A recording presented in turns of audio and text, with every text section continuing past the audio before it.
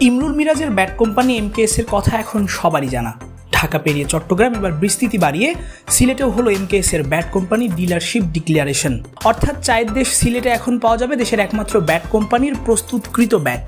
এ উপলক্ষে মিরাজ এবং ইমরুল তাদের সঙ্গে কোম্পানিটির ব্যাটের কারিগর শাহিনের উপস্থিতিতে সিলেটের একটি পাঁচ তারকা হোটেলে অনুষ্ঠিত হলো জমকালো আয়োজন, যেখানে উপস্থিত ছিলেন এমকেএস এর সিলেট অঞ্চলের ডিলাররাও। গেল বিপিএল চলাকালীন নিজের ব্যাটের দারুণ প্রচারণা চালিয়েছিলেন ইমরুলরা। বিদেশি ক্রিকেটারদের ব্যাট উপহার দিয়ে কিংবা তারা সেই ব্যাট দিয়ে খেলে এমকেএস এর জন্য দারুণ সুনাম বয়ে এনেছিলেন। এছাড়া শ্রীলঙ্কা সিরিজে বিস্ময় জাগা নিয়ে রিশাদ হোসেন বড় বড় ছক্কাগুলো হাঁকিয়েছিলেন এই এমকেএস ব্যাট দিয়েই। দেশের গণ্ডি পেরিয়ে বাংলাদেশে তৈরি এই ব্যাটের সুনাম ছড়িয়ে পড়েছে দেশের বাইরেও। শুনে অবাক হবেন, বিপিএল খেলতে এসে একটি নয়, তিন তিনটি ব্যাট কিনে নিয়ে গেছেন ইংল্যান্ডের মইন আলী এছাড়া পাকিস্তানের খুশদিল শাহ, তিনিও ভালো লাগা থেকে কিনেছেন ইমরুল মিরাজদের কোম্পানির ব্যাট। বর্তমানে মইন আলী আছেন আইপিএলে। মুস্তাফিজের সঙ্গেই খেলছেন চেন্নাই সুপার কিংসের হয়ে। তার ব্যাটের স্পন্সর ভিন্ন হলেও ব্যাটের কাট অর্থাৎ উইলোটা বাংলাদেশে তৈরি। এমকেএস কোম্পানির তৈরি করা ব্যাট দিয়েই তিনি খেলছেন আইপিএলে যেহেতু তিনটি ব্যাট কিনেছেন, ভালো লেগেছে বলেই আর সেগুলো দিয়ে ম্যাচ খেলবেন বলেই কিনেছেন। সিলেট সিলেটে এমকেএস এর প্রোগ্রামে এসে ইমরুল নিজেই জানালেন মইন আলীর তিনটি ব্যাট কেনার কথা। সঙ্গে বাংলাদেশে তৈরি ব্যাটের প্রশংসাও নাকি ঝরছে বিদেশি ক্রিকেটারদের কণ্ঠে। আমাদের এই পাকিস্তানি খুশদিল শাহ কিনেছে, উমের জামান কিনেছে মঈন আলী ব্যাট কিনেছে তিনটা একসাথে আমাদের সাথে। আরও অনেকেই ব্যাট কিনেছে। আমি এক্স্যাক্টলি নামটা এই মুহূর্তে মনে আসছে না বাট অনেক প্লেয়ারই ব্যাট কিনেছে খুবই ভালো। তারা অনেক ভালো রেসপন্স করেছে আমাদের ব্যাট নিয়ে এবং তারা খুব পজিটিভ যে আমাকে তারা বিপিএলের ভেতরে বলেছে যে তুমি কিপ গোয়িং মানে যেতে থাকো। তোমার আশা করি এটা অনেক ভালো হবে।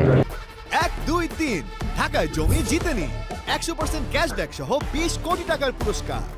এমকেএস দিয়ে এখন রিশাদ জয়রা খেললেও ভবিষ্যতে আরও বেশ কজন জাতীয় দলের ক্রিকেটারদের সঙ্গে চুক্তি করতে যাচ্ছে প্রতিষ্ঠানটি, যারা আন্তর্জাতিক ক্রিকেটে ইমরুল মিরাজদের তৈরি ব্যাট দিয়ে খেলবেন। আমার নেক্সট টার্গেট হচ্ছে বাংলাদেশ টিমের কিছু রেগুলার প্লেয়ার যারা আপনার রেগুলার ম্যাচ খেলবে ওয়ান ডে টি টোয়েন্টি বা টেস্টে তাদের, আমরা অলরেডি আপনারা দেখেছেন যে আমরা দুই, তিনজন চারজন প্লেয়ার আমাদের অলরেডি তারা কন্ট্যাক্টে কন্ট্যাক্টেড হয়ে গেছে আমাদের সাথে।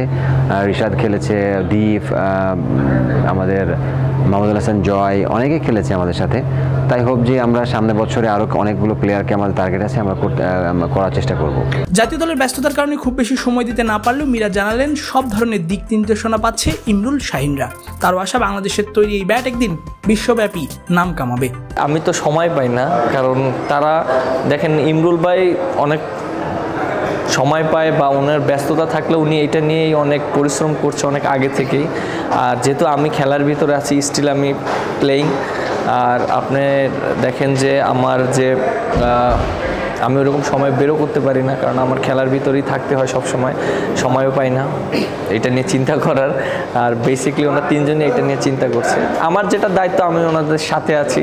সব সময় আমি আমার সাথে ডিসকাস করা, কীভাবে করলে ভালো হয়, সেটা আমি জাস্ট ফিডব্যাক দিই। Tasfiq Palak, Cric Frenzy.